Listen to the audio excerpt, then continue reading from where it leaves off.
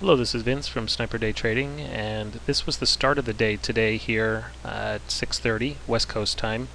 Uh, we had come off of a big drop, uh, taking out the 1067 area, uh, putting us in a down trending day. 1067 uh, was the number that I had given yesterday, that if we had broken that, then we were going to see lower prices. So we never did get that rally that we were looking at, and this here's the start of the day right here.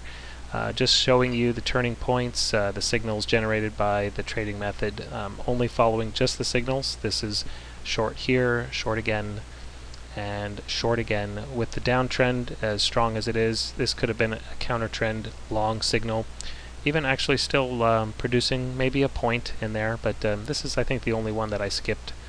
But outside of that, uh, the next signal would be right here and even this right here is a two point move. Okay next signal long. This right here these are a couple of small moves. This is a point and a quarter move. But all I'm doing is pointing out every trading signal that the day had given. Here's a trade short right here producing several points. Uh, five point move right here. Here's a trade long 735 and an add-on trade here as well 752 and another add-on trade directional change right here a little after 8 o'clock. This here was a, a, little whipsaw. This gave a long signal and then a short signal. I think it's the only one like that today. Next signal short there, a little after 9. That was actually good for 2, 3 points. Next trade 950. That was good for 4 or 5 points. Next trade good for 4 or 5 points long two or three points here short, two, three and a half. By the time it reverses, there's still a couple points in there.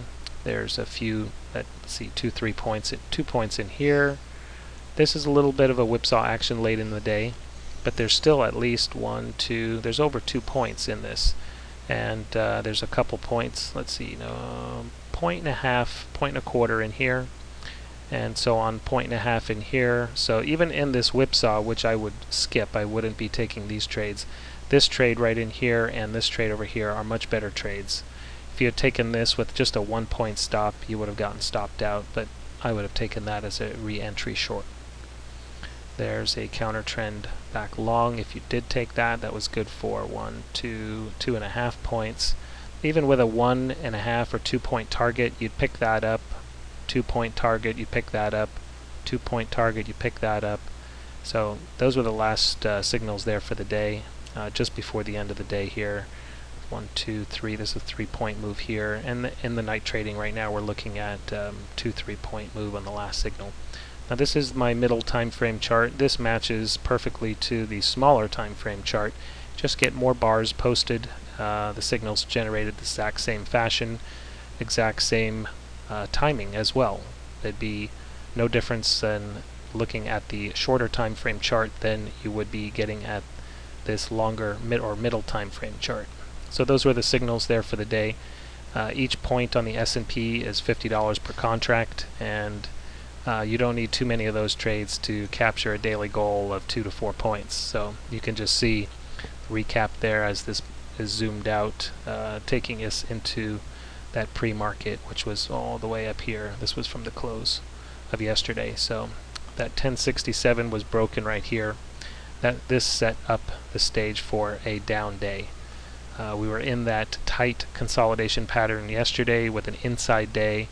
Uh, stops, heavy stops placed on both ends of the market, above on the breakout side, below on the sell side. And the 1067 area came in was it right up in here. 1067 was actually right up in here. So after this got broken we were just uh, having a down day for the remainder of the day. So sentiment numbers will come out tomorrow morning and I'll post those in the afternoon or evening session on my blog uh, to let you know what developments have changed. Possibly it was enough this big down day is enough to get all of the bears to bite and hopefully the market will hold on. Uh, maybe we'll see a, a, reaction rally back up, but I'd like to see those sentiment numbers first. Uh, we are in negative territory right now, so until next time, Vince is Sniper Day Trading. Thanks for tuning in.